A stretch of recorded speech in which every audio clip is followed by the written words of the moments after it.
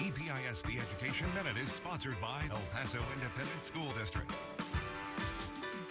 So it's a really great opportunity for parents to come and shop for their schools. E EPISD is holding its Discover E EPISD Expo this weekend. It's a chance for parents to see what programs the district offers. Parents have choices these days, and there's certainly a lot of interesting programs and initiatives that suit every child's personality, interests, and needs.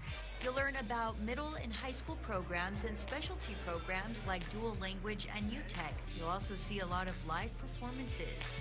We really want to make sure that everybody has that opportunity to come out and talk with staff, talk with students themselves that can tell you firsthand what these programs have meant to them. The expo is happening this Saturday at Bassett Place from 10 to 2.